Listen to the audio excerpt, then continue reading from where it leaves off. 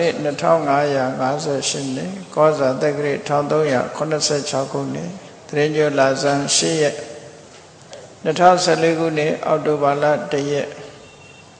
မန္တလေးတိုင်းဒေသကြီးအောင်မြေသာဇံမြို့နယ်16လမ်း81 82လမ်းကြားနန္ဒမာနဝ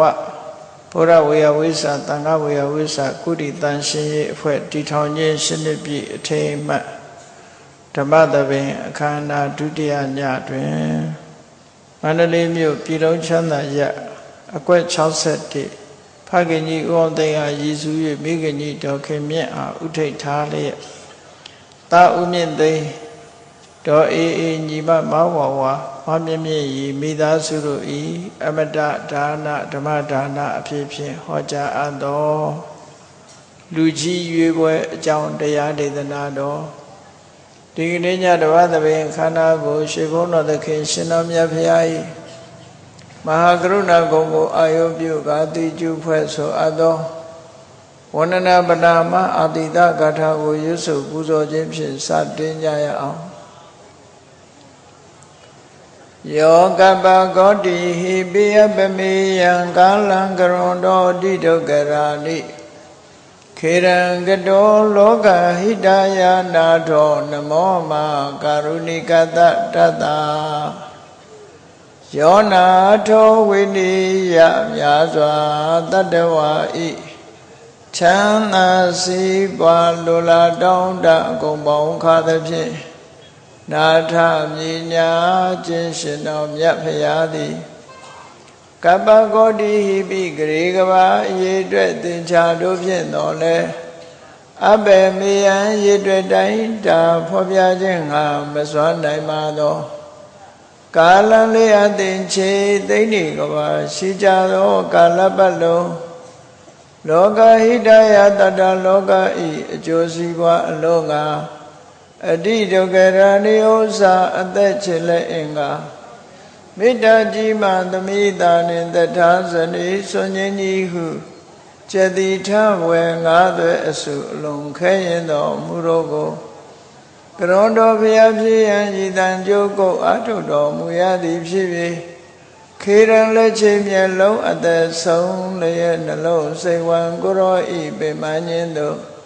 ကတောဘဝတဏ္ဍချိန်ဖန်များစွာရောက်တော်မူကြရရှာလေပြီ မဟာကရုဏီကသတ္တဝါများရင်ဝေသားကဲ့သို့တနာချစ်ခင်မဟာကရုဏာရှင်ဖြစ်တော်မူသောတသနာထသောဝိနည်းများစွာတတ္တဝါဤချမ်းသာစည်းပွားလိုလားတောင်းတဂုံပေါင်းခါသဖြင့်နာထမြညာထိုရှင်တော်မြတ်ဖရာအားနမောယုတိပြောင်းပြော့မှန်ကိုလျော်၍ ကရောယုကျိုးရှိကိုခြင်းသည်အထုဘဝတုစင်စစ်မဲ့တွေဖြစ်ပါစေတည်း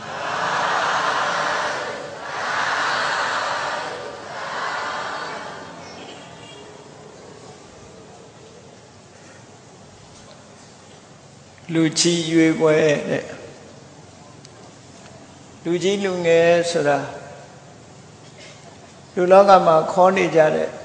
အသက်အရွယ်ကိုကြည့်ပြီးတော့ခေါ်တာတစ်မျိုးရှိရင့်ကျက်မှုကိုအကြောင်းပြုပြီးတော့ခေါ်တာတစ်မျိုးရှိအသက်အရွယ်ကိုကြည့်ပြီးတော့ငယ်ရွယ်သူကိုလူငယ်လို့ခေါ်ပြီးတော့အသက်အရွယ်ကြီးရင်တဲ့ပုဂ္ဂိုလ်လူကြီးလို့ဒီလိုခေါ်တယ်တချို့ကြတော့အသက်အရွယ်မဟုတ်ဘူးလူရဲ့ ခေါင်းရည်ချင်းရင့်ကျက်မှုမရင့်ကျက်မှုကိုအကြောင်းပြုပြီးတော့မရင့်ကျက်သေးတဲ့ပုဂ္ဂိုလ်ကိုလူငယ်လို့ခေါ်ပြီးတော့ရှင်းကျက်တဲ့ပုဂ္ဂိုလ်ကြတော့လူကြီးလို့ဒီလိုသတ်မှတ်ကြအဲ့ဒီရင့်ကျက်မှုမရင့်ကျက်မှုကိုအကြောင်းပြုပြီးတော့လူကြီးလူငယ်သတ်မှတ်ချက်ကတော့မြတ်စွာဘုရားရဲ့အဆုံးအမနဲ့အလွန်ကိုက်ညီတယ်ပေါ့အလုတ်ကိစ္စတခုကိုဆောင်ရွက်ကြတဲ့အခါမှာ လူကြီးလူငယ်ဆိုတာကွဲပြားခြားနားမှုတွေရှိတယ်အဲ့ဒါလို့ကွဲပြားခြားနားနေကြတဲ့အတိုင်းမှာဘယ်လိုပုဂ္ဂိုလ်မျိုးကလူငယ်ဘယ်လိုပုဂ္ဂိုလ်မျိုးကလူကြီးလဲလို့ဒီမှာလူကြီးဆိုတဲ့ပုံကိုယ်တွေကစိတ်ထားအနေနဲ့ကလည်းပဲကြီးမားတယ်စိတ်ထားအနေနဲ့ကလည်းကြီးမားခေါင်းဆောင်မှုအည်အသွေးတွေလည်းရှိတယ် အခုလိုဝေယဝိသကိစ္စတွေကိုဆောင်ရွက်လုပ်ကြကြတဲ့အခါမှာလူကြီးနဲ့လူငယ်အသက်အရွယ်နဲ့ခွဲခြားမှုမပြုတ်ပဲနဲ့ရင့်ကျက်မှုနဲ့မရင့်ကျက်မှုဆိုတာနှစ်ခုနဲ့ခွဲခြားပြီးတော့ဆုံးဖြတ်ကြရမှာဖြစ်တယ်အဲ့တော့လူကြီးဆိုတဲ့ပုဂ္ဂိုလ်ကစိတ်ထက်အနေထားအဖြစ်နဲ့မြင့်မားတယ် လောကဆောင်ရတဲ့ကိစ္စတွေနဲ့ပတ်သက်ပြီးတော့လည်းပဲစန္ဒဝီရိယဝိမန္တစိတ်တလို့ဆိုတဲ့စိတ်ဆွမ်းအားတွေကလည်းသူများတဲ့ထက်မြက်တယ်ကုသိုလ်ကောင်းမှုလုပ်ကြပြီဆိုတဲ့အချိန်မှာကြီးမားတဲ့ဆန္ဒမြင့်မြတ်တဲ့ဆန္ဒသူများတဲ့ပိုတယ်အလုပ်တစ်ခုလုပ်ပြီဆိုလို့ရှိရင်လုပ်လို့တဲ့ဆန္ဒပြင်းပြတယ်ကြီးမားတယ်ဒီလိုဆိုလို့ ဆန္ဒကိုသုံးမျိုးခွဲလိုက်တယ်ဟိနတဲ့ပဏိတတဲ့မစ္စည်းမတဲ့လူတွေရဲ့စိတ်နေသဘောထားဟာအမြဲတမ်းပဲ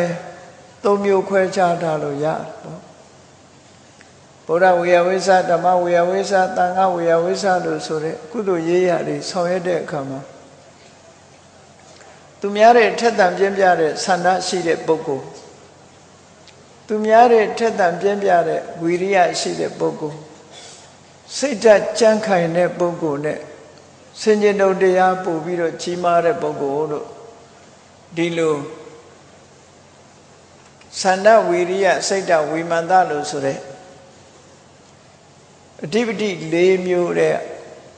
ဒီတဘာဝစွမ်းအားတွေ လွှမ်းမိုးထားတဲ့ပုဂ္ဂိုလ်ဟာလူကြီးလို့အဓိပ္ပာယ်ရတယ်အဲ့ဒါလို့မဟုတ်ဘဲနဲ့ဆန္ဒကလည်းပြောညံ့တယ်ကျိုးပန်းအာထုံမှုကလည်းပြောညံ့တယ်စိတ်ဓာတ်ကလည်းပြောညံ့တယ်စင်ញင်တုံတရားကလည်းအားနေတယ်ဆိုတဲ့ပုဂ္ဂိုလ်တွေဟာလူကြီးလို့မဖြစ်နိုင်ဘူးအကျိုးပေးတဲ့အခါမှာလည်းပဲကုသိုလ်ကောင်းမှုအကျိုးပေးတာဟာ ဒီသန္နဝီရိယဝိမန္တစိတ်တဆိုတဲ့ဝိမန္တလို့ဆိုတဲ့ဒီအဓိပတိတရား၄ပါးနဲ့စွမ်းဆောင်မှုကိုကြည့်ပြီးတော့အကျိုးပေးထက်သန်မှုအကျိုးပေးညံ့ဖြစ်မှုဆိုတာအမြဲတမ်းလာလေးရှိတယ်ပေါ့ဒီလိုဝေယဝိသကုသိုလ်ကောင်းမှုလုပ်တဲ့လုပ်ငန်းပဲမပြောနဲ့တမာတိကျင့်စဉ်တစ်ခုကိုကျင့်တဲ့အခါမှာတောင်မှပဲ ဆံရလို့ပြမပြေရောက်ကြပြီဆိုတဲ့အခါမှာတောင်မှပဲထက်တန်ပြင်းပြတဲ့ဆန္ဒဝီရိယစိတ်ဓာတ်ဝိမာန်တလို့ဆိုတဲ့ဒီစွမ်းအားတွေမြင့်မားတဲ့ပုဂ္ဂိုလ်ကအမြင့်ဆုံးမဟာပြမဖြစ်ပြီးတော့အလတ်တန်းစားလောက်တောင်ရှိတဲ့ပုဂ္ဂိုလ်ကအလတ်တန်းစားတယ်ပဲဖြစ်တယ်။အောက်တန်းကျတဲ့ဆန္ဒဝီရိယဝိမာန်တစိတ်ဓာတ်ဆိုတာတွေရှိတဲ့ပုဂ္ဂိုလ်ကြတော့အထက်တန်းထိအောင်မရောက်ဘူး အချမ်းရံမျှတာဖြစ်တယ်။ပြမမာတောင်မှပဲအဲ့ဒါလိုကွဲပြားခြားနာသွားသေးတယ်ပေါ့။ဒါကြောင့်မို့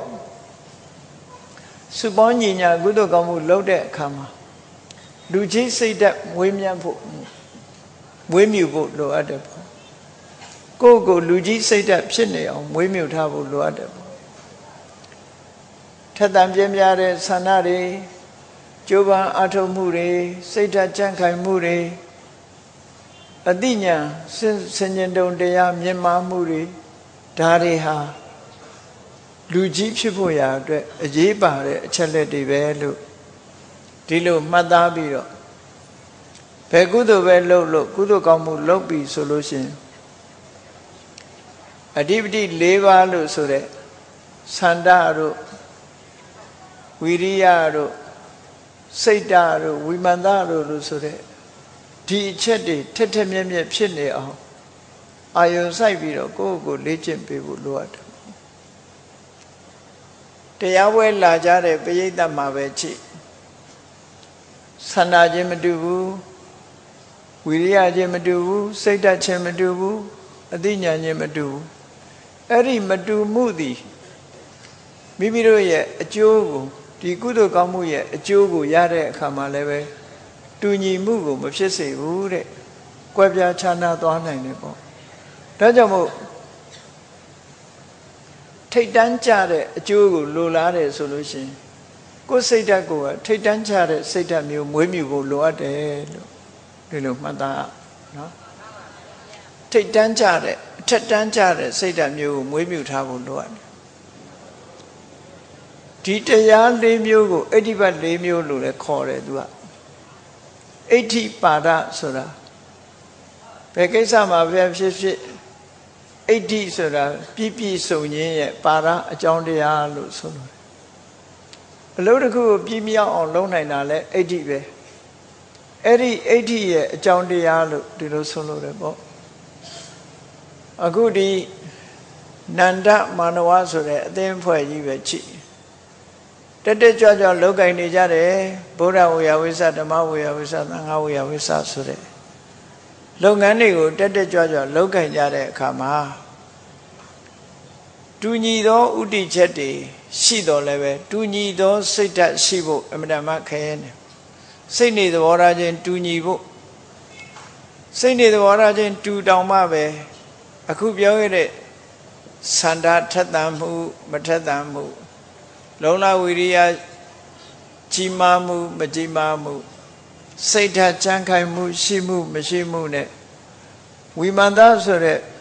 အမျောမြင်ပညာရှိမှုပညာအားနည်းမှုဆိုတာတွေကတော့ကွဲပြားခြားနားနေဥမှာပဲအဲ့ဒီကွဲပြားခြားနားနေတာကိုကြည့်ပြီးတော့အကျိုးပေးတဲ့အခါမှာလည်းပဲတဦးနဲ့တူကွဲပြားခြားနားတဲ့အကျိုးတွေကိုပေးနိုင်တယ်ပေါ့ဒါကြောင့်မို့လူကြီးလို့ဆိုလောက်အောင် ရင့်ကျက်တဲ့ပုဂ္ဂိုလ်မျိုးတွေဖြစ်အောင်အရာရာမှာထက်တန်ပြင်းပြတဲ့ဆန္ဒဆိုပါစို့ကုသိုလ်ကောင်းမှုနဲ့ပတ်သက်ပြီးလုပ်မယ်ဆိုရင်သူများလှုပ်လို့လှုပ်တဲ့ကိစ္စမျိုးမဟုတ်ဘဲနဲ့မိမိကိုယ်တိုင်ကိုယ်ကအားတက်တဲ့ရောလှုပ်တဲ့လှုပ်ထိုက်တဲ့ကိစ္စတစ်ခုဖြစ်လို့ထက်တန်တဲ့ဆန္ဒအမြဲတမ်းရှိနေရဖို့လိုအပ်တယ်ပေါ့ ဖြစ်ခြင်းတဲ့ဆန္ဒလှုပ်ခြင်းတဲ့ဆန္ဒပြင်းပြတယ်လို့ပဲဘာအကြောင်းပြဟိုအကြောင်းပြဒါအကြောင်းပြမပြဘဲနဲ့ဆန္ဒရှိသလောက်နောက်ကလုံလဝိရိယဆိုတာလည်းရှိဖို့လိုအပ်တယ်ပေါ့လုံလဝိရိယကဆန္ဒနောက်မှာထက်ချက်မကွာလိုက်လာဖို့လိုတယ်ဆန္ဒတော့ရှိပါရဲ့မလုပ်ဘူးဆိုလို့ရှိရင်လည်းအောင်မြင်မှာမဟုတ်ဘူးဆန္ဒရှိရမယ်ဆန္ဒရှိရင်ကြည့်လေဘယ်ကိစ္စပဲဖြစ်ဖြစ် ဆန္ဒကြီးမောက်လို့ရှိရင်ကြံသမျှပြီးမြောက်တယ်လို့ဒီလိုဆိုကြတယ်ဆန္ဒဝတောကိဏမကမ္မနသိစတိဆန္ဒရှိတဲ့ပုဂ္ဂိုလ်ဟာဘယ်အလုပ်ပဲဖြစ်ဖြစ်မပြည့်စည်တဲ့အလုပ်ဆိုတာမရှိဘူးအလုံးပြည့်စည်နိုင်တယ်လို့ဒီလိုဆိုတာပေါ့နော်ဒါကြောင့်မို့လှုပ်လို့တဲ့ဆန္ဒကအရေးတကြီးမိမိတဏ္ဍာမှာရှိနေဖို့လိုအပ်တယ်လို့လှုပ်ချင်တဲ့ဆန္ဒသာရှိပြီးတော့ လုံနိုင်တဲ့လုံလဝိရိယမရှိပြန်ဘူးဆိုလို့ရှိရင်လည်းအောင်မြင်မှုဆိုတာမရနိုင်ဘူးတဲ့ဒါကြောင့်မို့အောင်မြင်မှုရနိုင်ဖို့အတွက်တော့ဘာလို့ ਆ လုံလဝိရိယဆိုတာနောက်ကလိုက်ရတယ်လုံလဝိရိယကလည်းပြောညံ့တဲ့လုံလဝိရိယမျိုးမဟုတ်ဘူးဝိကြေဝကုံလုံးတဲ့ဝိရိယမျိုးမဟုတ်ဘူးစိတ်အားဆိုင်ပြီးတော့လုံးတဲ့ဝိရိယမျိုးသာဖြစ်တဲ့နေပေါ့အဲ့ဒါလို့လုံလဝိရိယကလည်းပြေဝ ပြင်းထန်တယ်ဆွဲရှိတယ်အလုတ်တစ်ခုလုံးတဲ့အခါမှာကြိုကြိုစားစားတက်တက်ကြွကြွလုံးတယ်ဆိုတဲ့ဝိရိယဆန္ဒလေးရှိတယ်ဝိရိယလည်းရှိတယ်သို့တော့အခက်ခဲအမျိုးမျိုးဆိုတာကြုံတွေ့လာတတ်တယ်လောကရန်နဲ့ပတ်သက်ပြီးတော့ကြုံတွေ့လာတတ်တယ်ကိုယ်အချင်းချင်းမှာအတင်းအဖြစ်ပြောတာကစလူတွေရဲ့စိတ်ဓာတ်ကိုဒီထက်သန်နေတဲ့စိတ်ဓာတ်ပဲဖြစ်လင့်ကစား အပြောခံရတဲ့ပုံကိုယ်တွေလောကရန်နဲ့ကျုံလာတဲ့အခါမှာစိတ်ဓာတ်ကြန့်ခိုင်မှုတွေမရှိဘဲနဲ့စိတ်ဓာတ်ချဆင်းသွားတာမျိုးတွေဖြစ်တတ်သေးတယ်အဲ့ဒါကြောင့်မလို့ဆန္ဒလည်းရှိရမယ်လုံလဝိရိယလည်းရှိရမယ်စိတ်ဓာတ်ကြန့်ခိုင်မှုလည်းရှိရမယ်ကိုလုံးတဲ့အလုံးနဲ့ပတ်သက်ပြီးတော့ခိုင်မာခိုင်မာတဲ့ဒီဆုံးဖြတ်ချက်နဲ့ပြည့်စုံတဲ့စိတ်ဓာတ်မျိုးရှိဖို့လိုတယ်လို့ဒီလိုဆိုတာပေါ့နော် အေးစိတ်ဓာတ်ကတော့ကြံ့ခိုင်တယ်လှုပ်တဲ့ကိစ္စအပေါ်မှာအမျောအမြင်ကမပါဘူးလို့ဆိုလို့ရှိရင်လေအောင်မြင်တဲ့တော့အောင်မြင်မှာမဟုတ်ဘူးဒါကြောင့်မို့လို့အမျောအမြင်လည်းရှိဖို့လိုတယ်လို့အလုံးပေါင်းလိုက်တဲ့အခါကျတော့သန္တာရဲ့ဝီရိယရဲ့စိတ်ဓာတ်ရဲ့ဝိမာန်တရဲ့လောကမှာအောင်မြင်ကြီးပွားခြင်းရဲ့အကြောင်းတရား၄မျိုးသို့မဟုတ်ဒီ လူတွေရဲ့စိတ်ကိုလွှမ်းမိုးချုပ်ကင်ထားတဲ့အဓိပတိတရား၄ပါးဒီတစ်ခုကကြီးစိုးပြီးတော့နေလို့ရှိရင်လုပ်ငန်းတစ်ခုဟာအောင်မြင်နိုင်တယ်လို့ဒီလိုဆိုတာပေါ့အဲ့ဒီလိုအောင်မြင်တယ်ဆိုတဲ့ထဲမှာလူငယ်လူကြီးဆိုတဲ့အနေအထားမျိုးကိုခွဲသွားတဲ့အခါမှာတမန်အဖြစ်တော့အသက်အရွယ်ငယ်တဲ့လူကိုလူငယ်လို့ခေါ်ပြီးတော့ အသက်အရွယ်ကြီးတဲ့လူကိုလူကြီးလို့ခေါ်တာဒါပုံမှန်သတ်မှတ်ချက်အနေနဲ့ပြောတဲ့စကားတစ်ခုတကယ်ရင့်ကျက်မှုရှိမရှိဆိုတာ ਨੇ တိုင်းတာလိုက်တဲ့အခါကျတော့အသက်ပဲကြီးပါစေသန္တာတို့ဝိရိယတို့ဝိမာန်တတို့စိတ်ဓာတ်တို့ဝိမာန်တတို့ဆိုတာတွေကမရင်ကျက်ဘူးဆိုလို့ရှိရင်တော့အဲ့ဒါလူကြီးလို့ခေါ်လို့မရဘူးတဲ့ဟောဒါက ပရမတ္ထရှုထောင့်ကနေသတ်မှတ်ချက်ပေါ့မြတ်စွာဘုရားရဲ့အဆုံးအမရှုထောင့်ကနေသတ်မှတ်လိုက်မယ်ဆိုရင်တော့အသက်ကြီးုံနဲ့လူကြီးလို့သတ်မှတ်လို့မရဘူးဒါကြောင့်မို့လူကြီးဖြစ်ဖို့ရာအတွက်ဆန္ဒကကြီးရမယ်လုံလဝိရိယလည်းကြီးရမယ်စိတ်ဓာတ်လည်းကြီးမားရမယ်အမျော်မြင်ကလည်းကြီးမားရ အဲ့ဒီအရေးကြီးတဲ့အချက်လက်တွေကြီးမားတဲ့ပုဂ္ဂိုလ်သားလည်းလူကြီးလို့ဒီလိုဆိုလို့ရတယ်ပေါ့နော်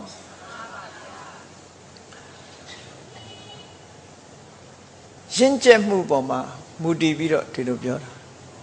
ဒါကလောကသဘာဝလူတွေအတိမတ်ပြုတာနဲ့မတူတဲ့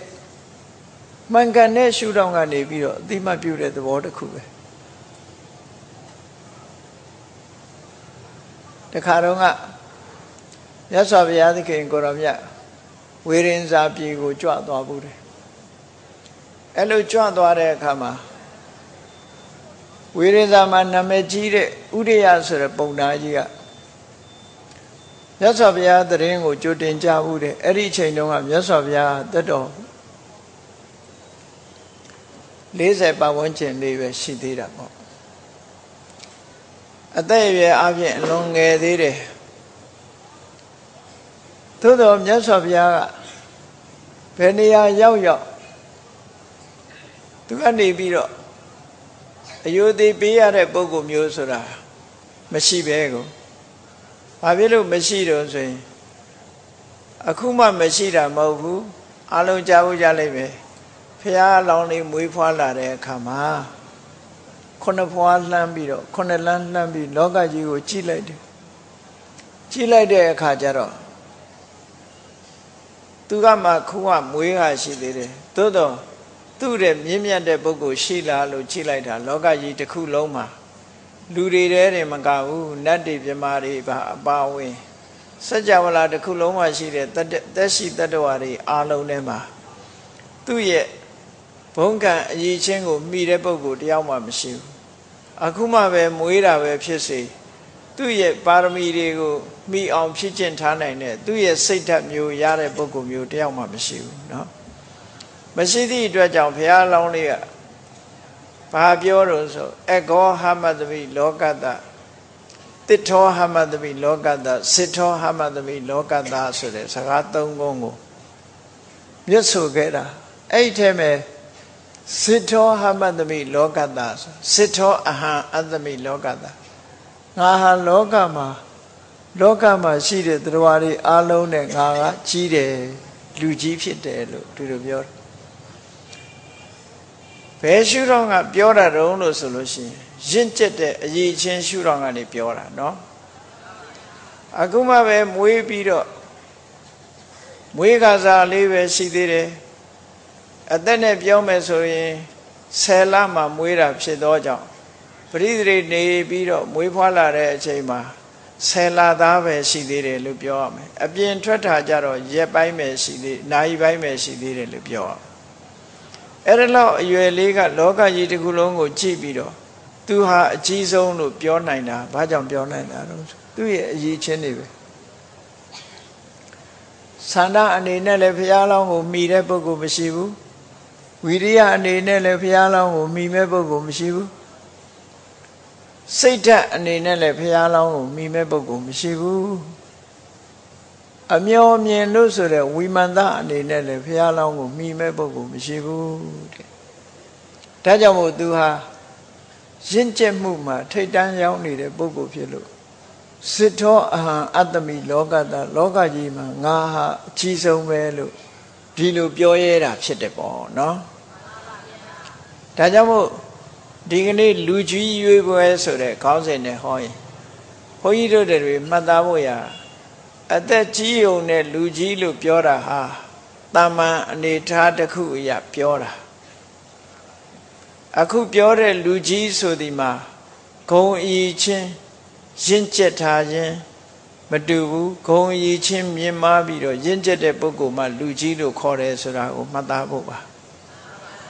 အဲ့ဒါကိုမှတ်သားထားမှဒါကမှတကယ်ပရမတ္ထအစ်စ်မှန်ကန်တဲ့ရှုထောင့်ကနေပြောတာဖြစ်တယ်တဲ့အသက်ကြီးလို့လူကြီးဆိုတာကတော့ဒါပုံမှန်အားဖြင့်ပြောတဲ့စကားများတာဖြစ်တယ်ပေါ့အေးမြတ်စွာဘုရားကိုယ်တိုင်ကဝေရင်စာပြေကြွသွားတဲ့အခါကျတော့ဝေရင်စာပုံနှန်းကြီးကရဟန်းဂေါရမအခုမှအသက်40ကျော်ပဲရှိသေးတယ် ကိုယ့်ရဲ့ကြီးတဲ့ပုဂ္ဂိုလ်တွေကိုယိုသေးလေးစားမှုမပြုဘူးနေရာထိုင်ခင်းမပေးဘူးလို့သူကြားဘူးတဲ့ပေါ့ဖះကသူလာတဲ့အခါမှာအသက်ရွယ်ကြီးတဲ့အဲ့ဒီပုံနာကြီးကိုအလေးမြတ်မပြုတ်ပဲနဲ့နေတာကိုတည်သောအဖြစ်သူကသူကြားတဲ့တဲ့ဟာမှန်တယ်ဆိုပြီးတော့ဖះကိုပြောတော့တာဒါကဝတ္တရားမကြည်ဘူး အသက်ငယ်တဲ့ပုဂ္ဂိုလ်ကအသက်ကြီးတဲ့ပုဂ္ဂိုလ်လေးစားရမယ်ဆိုတဲ့ကျင့်ဝတ်တွေဖောက်ဖြစ်တယ်ရဟန်းဂေါရမဟာအသက်အရွယ်ငယ်ငယ်ရှိရတဲ့နဲ့ကိုယ်ရကြီးတဲ့ပုဂ္ဂိုလ်တွေကိုလေးစားမှုမရှိဘူးလို့ဆိုပြီးတော့ဆွဆွဲပြောဆိုခဲ့ဘူးတယ်အဲ့ဒါလို့ပြောဆိုတဲ့အခါမှာမြတ်စွာဘုရားကဘာအမေးရှိတော့ဆိုရင်အေးသူတဲ့သီလအားဖြင့်တာလွန်မယ်တမာတိအားဖြင့်တာလွန်မယ်ပညာအားဖြင့်တာလွန်တဲ့ပုဂ္ဂိုလ်ဆိုလို့ရှိရင်တော့ သူ့အနေနဲ့လေးစားဖို့ဟာအစင်သင့်မယ်သို့သောလောကကြီးတစ်ခုလုံးကြည့်မယ်ဆိုရင်မြတ်စွာဘုရားတဲ့သီလသမာဓိပညာအားဖြင့်တာလွန်ဖို့နေနေသာသာဓာန်တူလို့ပြောရမယ့်ပုဂ္ဂိုလ်မျိုးတော့မရှိဘူးတဲ့အနာကတ်နိုင်တဲ့ပုဂ္ဂိုလ်တော့မရှိဘူးရှင်းချက်မှုအနေထားအဖြစ်လုံးဝဝေးကွာတယ်ခုံရီချင်းအဖြစ်လည်းဘုရားကိုအလုံးကမမိကြဘူးဒါကြောင့်မို့လို့လောကမှာငါအကြီးဆုံးဖြစ်တယ်လို့မြတ်စွာဘုရားက အလုံးမှာငါလေးစားရပြီးတော့ငါရဲ့ကြီးတဲ့ပုဂ္ဂိုလ်ဆိုတာပရမတ္ထရှုထောင့်ကနေမရှိဘူးလို့ဒီလိုမိတ်ရှိတာပေါ့နော်ဒါမှန်ကန်တဲ့လူကြီးတခုသတ်မှတ်ပြတာနော်အသက်ကြီးုံနဲ့လူကြီးဖြစ်တာကိုသတ်မှတ်တာမဟုတ်ဘူးနောက်တစ်ခါမြတ်စွာဘုရားကသူကြီးတယ်ဆိုတာကိုတက်သိပြကျင်တာဘယ်လိုပြတော့ လောကလူသားတွေအလုံးဟာဘာနဲ့ဥပမာတူတော့ဆိုအဝိဇ္ဇာတိဟုသောဥက္ကွန်ထဲမှာရောက်နေကြတဲ့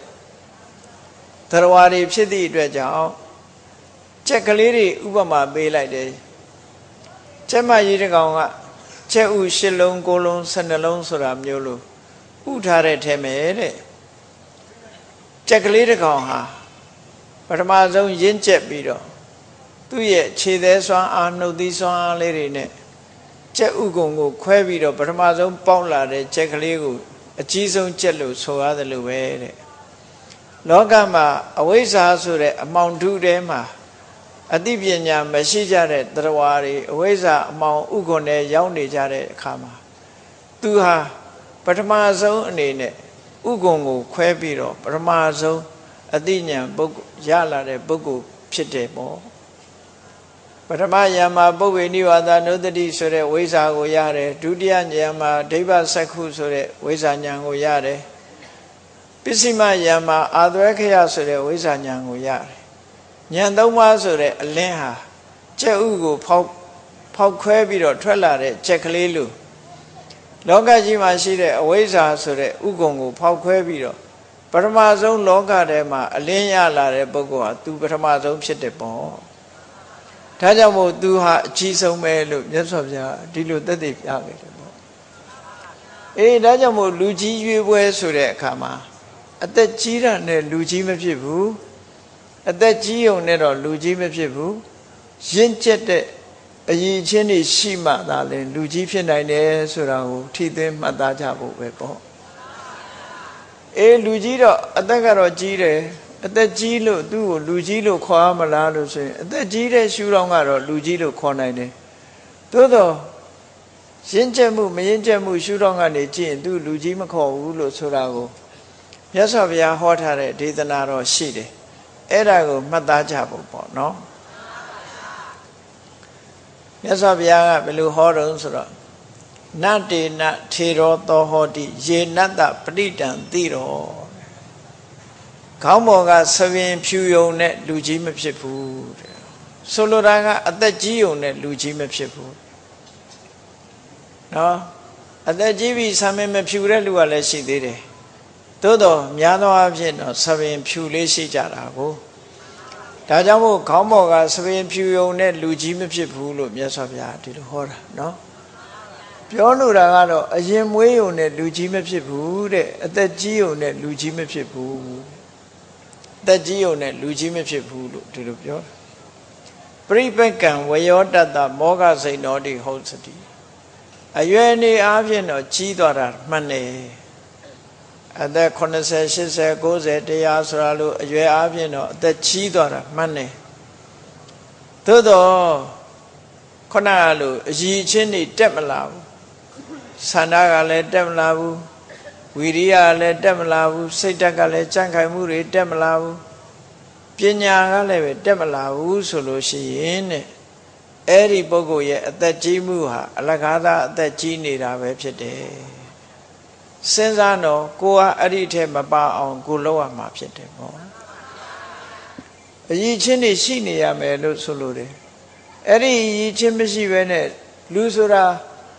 တနှစ်ပြီးတနှစ်တနှစ်ပြီးတနှစ်ဒီလိုပဲကြီးသွားပြီးတော့အိုကြမှာပဲမဟုတ်လားမွေးနေ့တွေအချိန်ချင်းဆုံတွေ့ပြီးတဲ့အခါနောက်ဆုံးမှာအသက်အရွယ်ကြီးရင်လာလို့အဖိုးကြီးဖွားကြီးဘဝကိုလူတိုင်းဟာရောက်ကြမှာကြီးပဲအဲ့ဒီလိုရောက်တဲ့အခါမှာအဖိုးကြီးဖွားကြီးဘဝရောက်သွားရင်တနှစ်ကုံသွားရင်တနှစ်အရေးချင်းတွေတိုးတက်ဖို့ ကုသိုလ်ရည်ချင်းတွေသီလရည်ချင်းတွေတမာရီရည်ချင်းတွေပညာရည်ချင်းတွေဒါတွေတိုးတက်ဖို့လိုအပ်တယ်ပေါ့အဲ့ဒါလို့မတိုးတက်ဖဲနဲ့အသက်သာကြီးကြီးကြီးကြီးသွားပြီးတော့ပေရီတွန့်သွားရီကျိုးဆံမင်းတွေဖြူုံနဲ့တော့လူကြီးမဖြစ်ဘူးတဲ့အရေးချင်းပါမှလူကြီးဖြစ်တယ်ဒီလိုဆိုတာပေါ့နော်အဲ့ဒါအလွန်သတိထားရမယ့်အချက်ပဲ ဘုန်းကြီးတို့တွေလူဘဝရောက်လာရင်တဖြည်းဖြည်းတော့တစ်နှစ်ပြီးတစ်နှစ်တော့ကုံသွားမှာပဲအဲ့ဒီကုံသွားတဲ့အခါမှာအရေးကြီးတာကတော့ကိုယ်စီကပါပြီးတော့ကုံသွားတာမျိုးမဖြစ်စေရဘူးကိုကရလိုက်တဲ့နှစ်နှစ်များလေရလာလေဒီလိုသာဖြစ်တဲ့နေပေါ့အခုကကုံသွားတယ်ဆိုတာကိုယ်စီကဟာတခုမှမရလိုက်တဲ့သဘောဖြစ်တယ်ပေါ့ ဒါကြောင့်မို့လို့နှစ်တွေကုံသွားတာမျိုးမဖြစ်စေပဲနဲ့နှစ်ကြာလေကိုယ့်ရဲ့အည်ချင်းတွေတက်လာလေနှစ်ကြာလေကိုယ့်ရဲ့အည်ချင်းတွေတက်လာလေလူဘဝရောက်လာတဲ့ပုဂ္ဂိုလ်ကနှစ်ကြာလေကုသိုလ်တရားတွေများလာလေနှစ်ကြာလေသီလတွေများလာလေနှစ်ကြာလေသမာဓိတွေပညာတွေတိုးတက်လာလေအဲ့ဒါလို့ဖြစ်ရမယ်တဲ့အဲ့ဒါလို့မဖြစ်လို့ရှိရင်လူငယ်ဘဝလူငယ်အဆင့် ရှင်းချက်မှုမရှိသေးတဲ့ပုဂ္ဂိုလ်အဆင့်မှာပဲရှိနေမှာပဲတဲ့အဲ့ဒါကိုအထူးသတိထားဖို့နော်အဲ့ဒါကိုအထူးသတိထားရမယ်ငါတက်ကြီးလို့ငါလူကြီးဖြစ်ပြီလို့ဒီလိုမအောင်မေ့လေနဲ့တဲ့နတ္တေနထေရောသောဟောတိထေရဆိုတာ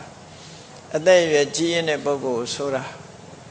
နတ္တေနထေရောသောဟောတိယေနတ္တပရိတံတိရောယေနအကျဉ်းကြောင်းကြောင့်အတ္တထုပုဂ္ဂိုလ်ရဲ့ တိရောခေါင်းဟာပလိတံဖြူသွား၏တင်းနထိုသပင်ဖြူုံမြဖြင့်သောတုပုဂ္ဂိုလ်ဟာထေရောနာဟောတိနော်လူကြီးမဖြစ်ဘူးဒါမြတ်စွာဘုရားရဲ့စကားနော်လူကြီးမဖြစ်ဘူးပြိပက်ကံဝယောတတပြိပက်ကောဝယောတတလို့လည်းရှိတယ်သို့တော့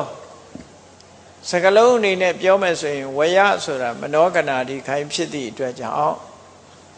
ဂရမာနဲ့ပြောမယ်ဆိုရင်ပြိပက်ကောလို့မဖြစ်ရဘူးပြိပက်ကံလို့ပဲဖြစ်ရမယ်ပေါ့အဲ့ဒီမှာတတ္တထိုပုဂ္ဂိုလ်ရဲ့ဝယောအရွယ်ဟာပြိပက်ကံတဖြည်းဖြည်းရင့်ကျက်သွားတာသာဖြစ်တယ်စိတ်ဓာတ်ရင့်ကျက်တာမဟုတ်ဘူးအရွယ်ရင့်ကျက်သွားတာသာဖြစ်တယ်ဒီလိုဆိုတာပေါ့နော်ရင့်ကျက်ရမှာကအရွယ်လားစိတ်ဓာတ်လားလို့မေးရင်စိတ် ဓာတ်အနေနဲ့သာရင့်ကျက်ရမှာတဲ့အရွယ်ကတော့သူ့ဟာသူဒီတိုင်းသွားရင်လာရင်စားရင်တောက်ရင်အိပ်ရင်နဲ့ရင့်သွားမှာပဲဟောင်းတယ်ဆိုတာဒီတိုင်းပဲသူကသူဟောင်းသွားမှာပဲဒါလောကရဲ့သင်္ခါရရဲ့သဘာဝတရားကြီးပဲအေးသင်္ခါရသဘာဝအတိုင်းသူကသူရင့်သွားတာဟောင်းသွားတာအိုသွားတာကတော့သူကသူဖြစ်မှာပဲသို့တော့ကိုရင့်ကျက်အောင်လုပ်ရမှာတော့အသိပညာပဲ စိတ်ဓာတ်တွေရင့်ကျက်လာအောင်လုပ်ရမယ်ပညာတွေရင့်ကျက်လာအောင်လုပ်ရမယ်အဲ့ဒီလိုမဟုတ်ဘဲနဲ့အရွယ်သာရင့်ကျက်သွားမယ်ဆိုရင်ဘုရားကဘယ်လိုပြောတော့ဘယ်လိုဟောတော့ဆိုမောဃစိန်နောတိဟောစတိမောဃဆိုတာအချီးနီစိန်နဆိုတာအိုမင်းသွားတာမောဃစိန်နောအချီးမီအိုမင်းသွားတဲ့လူအိုလူမင်းများသာဖြစ်တယ်အရေးချင်းနေနဲ့တိုးတက်လာတာမရှိဘူး အလကားသာအိုသွားတာပဲဖြစ်မယ်ဘာအရေးချင်းမှတက်မလာဘူးလို့ဒီလိုဆိုလိုတယ်နော်လူတွေလည်းအိုကြတာပဲနွားတွေလည်းအိုကြတာပဲလူတွေကတနေ့တရက်ကုသိုလ်ရေးနဲ့အသက်ရှင်မယ်သို့မဟုတ်ပညာနဲ့အသက်ရှင်မယ်ဆိုရင်လူက အသက်ကြီးလာလေးလေးပညာတွေကျွယ်ဝလေးလေးအသက်ကြီးလာလေးလေးပညာတွေများလာလေးလေးဆိုတဲ့ဟာကြတော့အသက်ကြီးလေးဉာဏ်ပညာတွေထက်မြက်လာလေးလေးဖြစ်လာလို့ရှိရင်အလကားအိုသွားတယ်လို့ပြောလို့မရဘူးနွားတကောင်ကြတော့အသက်ကြီးလဲဒါပဲငယ်တုန်းကလည်းဒါပဲအသိဉာဏ်တွေသူ့မှာတိုးတက်လာလားဆိုမတိုးတက်ဘူးလေဘာအသိဉာဏ်မှမရှိဘူးဆိုတော့ မောဃစိန်နာအချီးနီးအိုမင်းသွားခြင်းသာဖြစ်တယ်လို့သူပြောတာနော်အဲ့ဒါမျိုးမဖြစ်စေနဲ့တဲ့မြတ်စွာဘုရားဒါဖြင့်ဘုန်းကြီးတို့တွေလူကြီးရွေးပွဲမှာကိုကိုယ်တိုင်လူကြီးဖြစ်ဖို့ဘာလို့อ่ะလူကြီးဖြစ်ခြင်းလို့ရှိရင်ဘာလို့ရမလဲဆိုတာမြတ်စွာဘုရားကဆက်ပြီးတော့ဒီလိုဟောထားတာရှိတယ်။ယံမိသစ္ဆင်္စဓမ္မောစာအဟိန္တာတန်ယမောဓမော သဝေဝန္ဒမလောတိရောသောထေရောတိပါဝစတိတဲ့ထေရဆိုရယ်လူကြီးဖြစ်ဖို့အတွက်ဘာလို့อ่ะနံပါတ်1ကသစ္စာအမှန်တရားကိုသိရမယ်တဲ့လူကြီးဖြစ်ဖို့အတွက်အသိဉာဏ်ကအဓိကကြတယ်ပေါ့နော်အမှန်တရားကိုသိရမယ်လို့ဆိုတော့လောကမှာအမှန်တရားလို့ပြောတာတွေအများကြီးရှိတဲ့ထဲပဲတကယ်အစစ်မှန်ဆိုတာအရိယသစ္စာသာလည်းတကယ်အစစ်မှန်ဖြစ်တယ်ပေါ့ အေးထူးခြားတဲ့အသိဉာဏ်ရဖို့ရာအတွက်ဒုက္ခဆိုတဲ့နံပါတ်1သစ္စာဒုက္ခသမုဒယဆိုတဲ့နံပါတ်2သစ္စာဒုက္ခនិရောဓဆိုတဲ့နံပါတ်3သစ္စာဒုက္ခនិရောဓဂာမိနိပฏิပဒါဆိုတဲ့နံပါတ်4သစ္စာအဲ့ဒီအရိယသစ္စာ၄ပါးကိုကြာကြာနာနာသိမြင်နားလည်တဲ့ပုဂ္ဂိုလ်ဖြစ်ရမယ် ် အဲ့ဒါလူကြီးဖြစ်ဖို့အတွက်ဘုန်းကြီးတို့တွေဟာသစ္စာကိုသိအောင်ကြိုးစားရမယ်လို့ဆိုတာဘုန်းကြီးတို့တွေရထားတာဘာကိုရထားလဲဆိုရင်ဒုက္ခကိုရထားတာဟုတ်မဟုတ်စဉ်းစားကြည့်တို့တွေလူဘဝရောက်တာတာဟာဒုက္ခကိုရတာလားဒုက္ခကိုရတာလားဆိုရင်ဘာပြောမလဲဒုက္ခကိုရထားတယ်တဲ့ရထားတာယုတ်တရားနဲ့နံတရားကိုရတာယုတ်နဲ့နံဆိုတာဒုက္ခပဲ ဘာကြောင့်ဒုက္ခလို့ပြောရတာတုံးလို့ဆိုတော့ခန္ဓာကိုယ်ကြီးကိုနည်းနည်းအာယုံစိုက်ကြည့်လိုက်ယောဂဝေဒနာတွေဟာဘယ်မှာဖြစ်တာတုံးဆိုရင်ဘေးရန်ဥပဒေအန္တရာယ်ဖြစ်ရင်ရောဘယ်မှာဖြစ်တာတော့ခန္ဓာမှာပဲဖြစ်တယ်66ပြာယောဂဝေဒနာတွေတို့နော်တစုံတစ်ခုဘေးရန်တွေတို့ဖြစ်တာမှန်သမျှအကုန်ခန္ဓာမှာဖြစ်တာတွေကြည့် အဲ့တော့ဘေးရန်အန္တရာယ်တွေတို့အလိုမရှိရတဲ့ဟာတွေတို့နောက်တစ်ခါလောကမှာရှိတဲ့အညစ်အကြေးတွေမှန်သမျှရောဘယ်မှာရှိတာတော့အဲ့တော့ပြောမယ်ဆိုရင်စီပင်အမိုက်ပုံးကြီးနဲ့မတူဘူးလားခန္ဓာကိုယ်ကြီးကစီပင်အမိုက်ပုံးကြီးလိုဖြစ်နေတယ်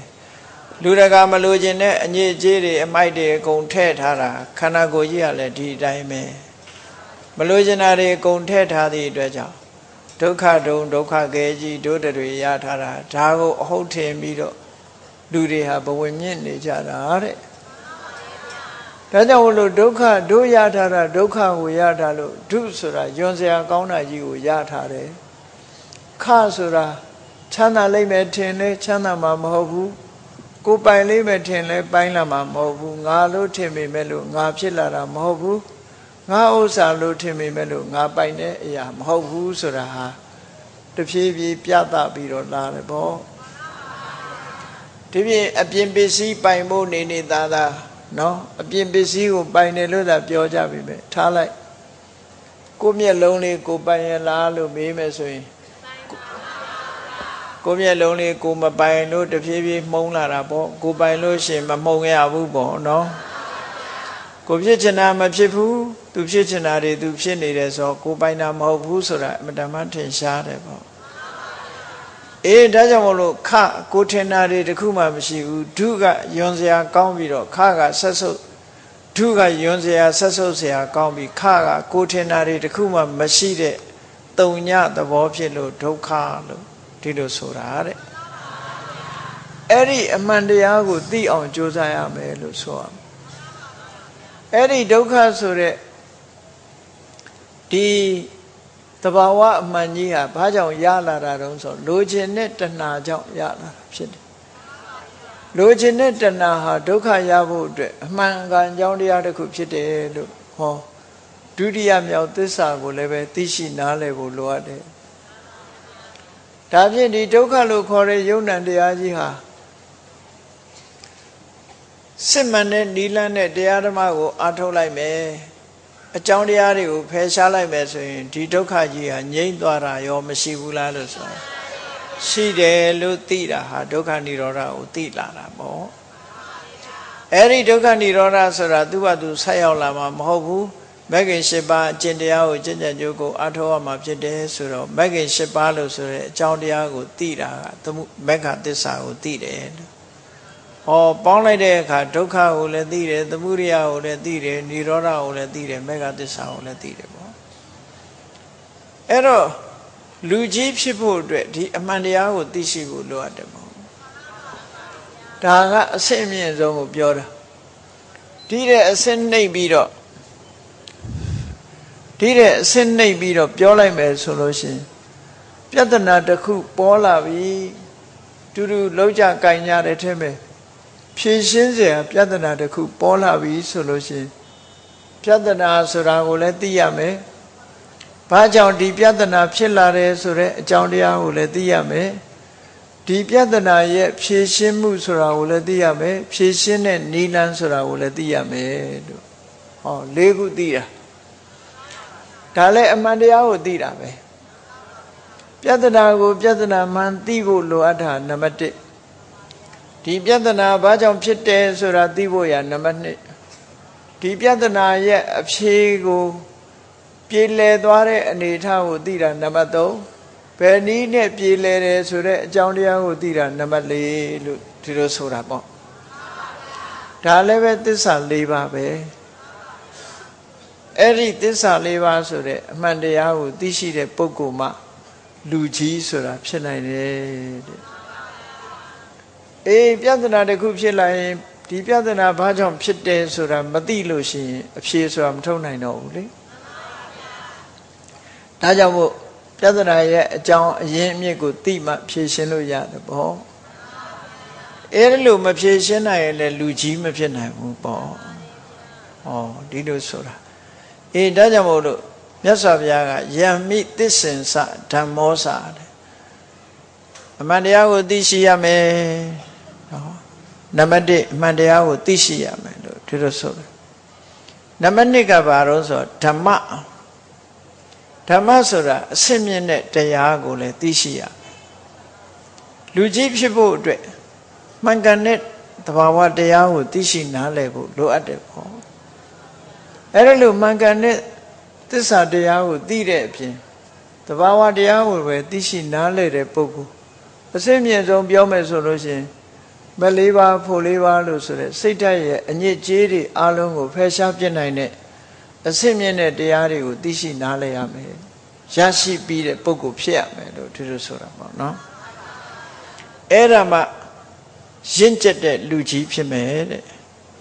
ဟောအခြေခံအပြင်ပြောမယ်ဆိုလို့ရှိရင်လူကြီးဆိုတဲ့ပုဂ္ဂိုလ်ဟာအဟိန္တာဘယ်သူပေါ်မှာအနိုင်ကျင့်တဲ့စိတ်ဓာတ်မျိုးမရှိအောင် ငယ်သူကိုကျင်နာသနာအကျင်နာတရားထားတယ်အကျိုးစီးပွားကိုလိုလားတဲ့မေတ္တာတရားထားတယ်ကိုယ့်ရဲ့သားလဲပုဂ္ဂိုလ်တွေကိုဝမ်းသာနိုင်တဲ့မုဒိတာတရားထားတယ်အပြည့်နာစာနဲ့ပတ်သက်ပြီးတော့လိလိရှုနိုင်တဲ့ဥပေက္ခထားနိုင်တယ်ပေါ့ပြောမယ်ဆိုလို့ရှိရင်မေတ္တာကရုဏာမုဒိတာဥပေက္ခလို့ဆိုရက်ပြမစိုးတရားတွေကိဝတ်တဲ့ပုဂ္ဂိုလ်ဖြစ်ရမယ်အဲ့ဒါမှလူကြီးဖြစ်မယ် ပြမစိုးတရားကင်းမဲ့နေတဲ့ပုဂ္ဂိုလ်တရားဟာလူကြီးမဖြစ်ဘူးတဲ့ဟုတ်လားပြမစိုးတရားမရှိရင်လူကြီးမဖြစ်ဘူးမြတ်စွာဘုရားကဒီနေရာမှာအဟိန္တာတဲ့လူကြီးဆိုတာသူများပေါ်အနိုင်မကျင့်ရဘူးတဲ့အနိုင်ကျင့်ရင်လူကြီးမဖြစ်ဘူးတဲ့ဒီလိုဆိုလို့တယ်အေးခုခေတ်တော့လူကြီးဆိုရင်ငါကလူကြီးပဲဆိုပြီးတော့အနိုင်ကျင့်ရင်လိုပဲရမှာတော့เนาะအဲ့ဒါလို့ဆိုလို့ရှိရင်လူကြီးမဖြစ်ဘူးတဲ့ဒါ စိတ်ဓာတ်အနေနဲ့ကလူကြီးဖြစ်မလားဘူးဒါကြောင့်မို့မြတ်စွာဘုရားကအဟိန္တာသူများကိုမညှင်းဆဲရဘူးနောက်တစ်ခုကတန်ယမတဲ့ကိုချင်းတရားကောင်းရမယ်ထိမ့်သိမ့်ဆောက်ရှောက်နိုင်ရမယ်ကိုချင်းတရားကောင်းတဲ့ပုဂ္ဂိုလ်ကာယကံကိုထိမ့်သိမ့်တယ်ဝစီကံကိုထိမ့်သိမ့်တယ်ပါဇက်ရှိတိုင်းစကားကိုပြောချင်တာမပြောရဘူးပြောသင့်မှပြောရတယ်အမှန်ကိုသာပြောရမယ် တန်ယမဆိုတာစောင့်စောင့်စီစီရှိရတယ်နှုတ်ကိုစောင့်စည်းတယ်ကိုဒီလက်ရောက်ကိုအမှုကိုစောင့်စည်းတယ်ကာယကံနဲ့ဝစီကံနှစ်မျိုးကိုထိမ့်သိမ်းဆုံးရှုပ်တဲ့ပုဂ္ဂိုလ်ဖြစ်ရမယ်အဲ့ဒါမှလူကြီးဖြစ်မယ်ကိုချင်းတရားပြပြနေတဲ့ပုဂ္ဂိုလ်တရားဟာအသက်ဘယ်လောက်ပဲကြီးကြီးလူကြီးမဖြစ်ဘူးတဲ့ ကိုချင်းတရားမရှိဘဲနဲ့လူကြီးလို့နာမည်ခန်းနေလို့ရှင်ဒါလူကြီးအစ်စ်မဟုတ်ဘူးလို့ပြောအောင်ဒါကြောင့်မို့တန်ယမလို့ဆိုတဲ့ထိမ့်သိမ်းဆောက်ရှောက်မှု သူများတဲ့ပို့ပြီးတော့နှုတ်အနေနဲ့ကလည်းစီကံရှိတယ်ပြောချင်တာမပြောဘူးလိမ်မပြောဘူးမတက်တယောက်နဲ့တယောက်မတက်အောင်မပြောဘူးချမ်းတန်းရိုင်းပြတဲ့စကားတွေကိုမပြောဘူးနော်ရင်ကျေးရင်ကျေးလိမ်မာတဲ့စကားမျိုးကိုပြောတယ် အကျိုးမရှိတဲ့စကားတွေကိုမပြောဘူးအကျိုးရှိတာကိုသာပြောတယ်ဆိုရင်မှဒါဟာလူကြီးရဲ့အင်္ဂါရပ်ပဲဒီလိုဆိုတယ်နောက်တစ်ခုကတော့ဘာလို့ဆိုဓမ္မနဲ့ဆုံးမတယ်ကိုယ့်ရဲ့အမြင်မော်ကြည့်ပြီးတော့လောဘမဖြစ်အောင်ဆုံးမတယ်ကြားတဲ့အတန်မော်ကြည့်ပြီးတော့လောဘဒေါသမဖြစ်အောင်ဆုံးမတယ်အနံ့ရတဲ့အပေါ်မှာလောဘဒေါသမဖြစ်အောင်ကိုယ့်ကိုယ်နှိပ်ကွက်တယ်ဆုံးမတယ် လျှာပေါ်မှာအကြောင်းပြုပြီးတော့လောဘဒေါသမဖြစ်အောင်ထိမ့်သိမ်းဆောက်ရှောက်တယ်လောကမှာလူတွေဟာကိုယ့်ကိုယ်မထိန်နိုင်မသိမ့်နိုင်တာဖြစ်တာဘယ်ကနေလာတာတော့ဆိုမြင်လို့ကြိုက်တာလေးတွေးလိုက်ရင်မထိန်နိုင်မသိမ့်နိုင်မဖြစ်ဘူးလားလောဘကိုမထိန်နိုင်ဘူးကိုမကြိုက်တာတွေးလိုက်တဲ့အခါဒေါသဖြစ်တယ်ဒေါသကိုမထိန်နိုင်ဘူးထို့တူပဲအတန်လည်းပဲကိုကြိုက်တဲ့အတန်လေးကြားလိုက်လို့ရှင်လောဘဖြစ်တယ်မထိန်နိုင်မသိမ့်နိုင်ဖြစ်တယ် ကိုမကြိုက်တဲ့အတန်ဖြစ်ကြားတဲ့အခါဒေါသဖြစ်တယ်မထိန်နိုင်မသိမ့်နိုင်ဖြစ်တယ်ပေါ့အဲ့တော့ကိုယ့်ကိုမနိုင်မနိုင်ဘူးမနိုင်ဆုံးကတော့ရှာပဲလူတွေမနိုင်ဆုံးကတော့ရှာပဲရာသတနာဆိုတာအသေးခံပြီးတော့စားတယ်လေဝဝစားပြီးသေမယ်ဆိုတဲ့လူတွေအများကြီးပဲမတည်ဘူးဆိုလဲစားချင်တာပဲအဲ့ဒါမထိမ့်သိမ့်နိုင်တာလို့ခေါ်တယ် စားစားတယ်ဆိုတာထိမ့်ထိမ့်သိမ့်သိမ့်ခန္ဓာကိုယ်တည်ထမ်းပြီးတော့ကျမ်းမာအောင်သက်ရှိဖို့စားတယ်ဆိုတဲ့အတွေးခေါ်မဟုတ်ဘူးကြိုက်လို့စားတယ်ဆိုတဲ့အဆင့်ကိုရောက်သွားတယ်ကြိုက်လို့စားတယ်ဆိုတဲ့အဆင့်ဟာအန္တရာယ်ပေးတဲ့အဆင့်ရောက်သွားပြီပေါ့ဒါကြောင့်မို့လို့ဓမ္မလို့ဆိုတာကိုယ့်ကိုကိုယ်စိတ်ကိုနိုင်အောင်ဆုံးမနိုင်တဲ့ပုဂ္ဂိုလ်ဖြစ်လောကလူတွေကသူများကိုတော့ဆုံးမတယ်ကိုယ့်ကိုဆုံးမဖို့ကြတော့မေ့နေကြတယ် မြတ်စွာဘုရားကဟောတယ်အတ္တာဟိကိရဒုတ်တမောတဲ့သူများကို ဆုံးမဖို့လွယ်တယ်ကိုယ့်ကိုဆုံးမဖို့ကြခက်တယ်တဲ့ကိုယ့်ကိုကြတော့လူကအမြဲတမ်းဖေးပါပေးတယ်ဟုတ်တယ်မို့လားသူများကြောင့်ဖြစ်ရင်မလီနမောနမဲနိုင်လိုက်တာပကံလေးကြခွဲကြည့်ပါလားသူများကြောင့်ကွဲလို့ရှိရင်ဒီလောက်နမောနမဲနိုင်ရလားကိုယ်ကြတော့ဗာပြောမတော်လို့နော်လူတွေရဲ့အတွေးဟာ ကိုယ်ကြောင့်ဖြစ်ရင်မတော်လို့ဟုတ်လားဒါပေမဲ့သူများကြောင့်ဖြစ်လို့ရှိရင် မတော်လို့လို့မပြောချင်ဘူးဘာပြောတော့နမောနမဲနိုင်ဒီလိုပြောတာအဲ့ဒီကလေးကကိုယ့်ကိုမဆုံးမဘူးဆိုတာအမတန်မှထင်ရှားတယ်ပေါ့နော်အေးလူကြီးဖြစ်ဖို့အတွက်သူများကိုအနိုင်မကျင့်ရဘူးကိုချင်းသီလတွေနဲ့လုံလုံကိုချင်းသီလလုံရမယ်ကိုယ့်ကိုဆုံးမနိုင်တဲ့ပုဂ္ဂိုလ်ဖြစ်ရမယ် နောက်ဆုံးကြတော့ပါတော့တဝေဝန္တမလောဒီတော့အသိဉာဏ်တွေပြီးွားပြီးမကောင်းတာမှန်သမျှအကုန်ထွေးထုတ်ထားပြီးသားပုဂ္ဂိုလ်ဖြစ်ရစိတ်ထဲမှာမကောင်းတဲ့စိတ်ဓာတ်တွေတခုမှမထားနဲ့သူများပေါ်မှာမလိုမုန်းထားတဲ့စိတ်တွေသူများပေါ်မှာအနိုင်ကျင့်နေတဲ့စိတ်တွေအနိုင်ယူခြင်းတဲ့စိတ်တွေကိုယ့်ရဲ့သားမနာလိုဘူးဆိုတဲ့စိတ်တွေမကောင်းတဲ့စိတ်တွေတခုမှမထားဘူးအားလုံးကို ထွေးထုတ်စွန့်ပစ်ထားတဲ့ပုဂ္ဂိုလ်မျိုးဖြစ်ရမယ်တဲ့အဲ့ဒါမှတကယ်လူကြီးလို့ဒီလိုဆိုတာနော်မြတ်စွာဘုရားကသောထေရောတိပါဝစတိတဲ့နော်သစ္စာကိုသိတယ်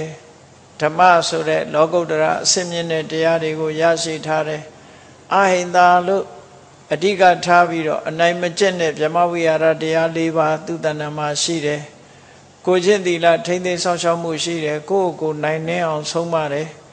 ကုံကုံပြောရင်ကိုယ်တဏ္ဍမှာရှိသမျှအညစ်အကြေးတွေလုံးဝလက်မခံဘူးစိတ်ထဲမှာဖြူစင်တန့်ရှင်းတယ်ဆိုတဲ့အနေအထားမျိုး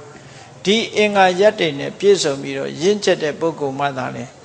သောထေရောတိပါဝစတိအဲ့ဒီပုဂ္ဂိုလ်မျိုးမှာတကယ်လူကြီးလို့ဒီလိုခေါ်တယ်တဲ့အေး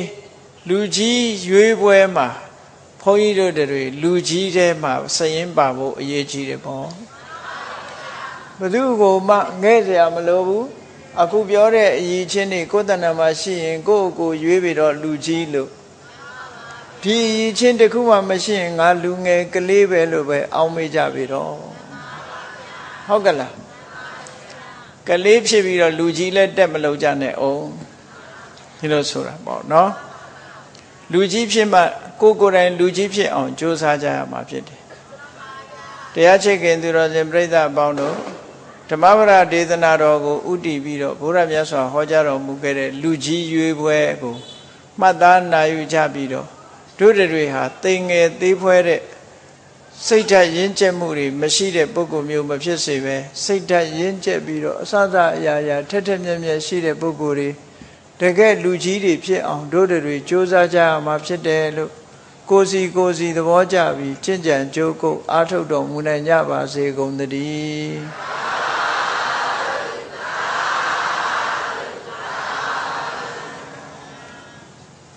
မေတ္တာပို့ရအောင်တတဝါများစွာဖေးရန်กว่าချမ်းသာကြပါစေတတဝါများစွာ ဖေးရန်กว่าချမ်းသာကြပါစေမေတ္တာရေချမ်းသွန်ငါဖြံငြိမ်းချမ်းကြပါစေမေတ္တာရေချမ်းသွန်ငါဖြံငြိမ်းချမ်းကြပါစေသက်ရှိချမ်းသာ စိတ်ချမ်းသာလူရဆန္ဒပြေပါစေသက်ရှိချမ်းသာစိတ်ချမ်းသာလူရဆန္ဒပြေပါစေလူရဆန္ဒဖုံလန္တာဒုက္ခပင်ကစားမေတ္တာပုံနေတုသင်္ကမမနောတရတိသဗ္ဗေတံဘဝယန္တုဒုက္ခနက မေတ္တာပုံနေတုသင်္ကမစုပေါင်းဖို့အမေတ္တာတဟုရောင်မြူပါဝင်းငွေလာမင်းနှင့်ရောင်ခြင်းရှဲယုံပေါင်းဆောင်ရခြင်းကြောင့်သဗ္ဗေတံကျွေးမဲ့ဥဒုံလုံးစုံများစွာတတ္တဝါတို့၏မနောတရတိမြင်မြဖြူစင်အေးကြည်လင်းသည့်ရေစဉ်ပြည့်တင်းစိတ်နှလုံးတည်ဟုသော ရေအိုင်ကြီးအတွင်း၌ဒုက္ခပင်ကစားစင်ထာဝရအေးမြကြည်သာတာယာပွင့်လန်းချမ်းသာဒုက္ခတည်ဟုသော ကုမုဒ္ဒရာဂျာဗန်တို့သည် ဖုံးလန်တော်ဝန္တာရွှေမြူဝမုံလူလျက်ကြည်နူးဝဲကြုံဖူးပွင့်ညာကုန်သည်ဖြစ်၍ဒုက္ခနကလေအောင်လေးတဲ့ရောချက်သင်ပြန်ပီတိတိဟုသောယနန်တို့သည်ဘဝယံတို့ကောင်းစွာမသွေကြိုင်လိုက်၍နေကြပါစေကုန်တည်းသာဓုသာဓုသာ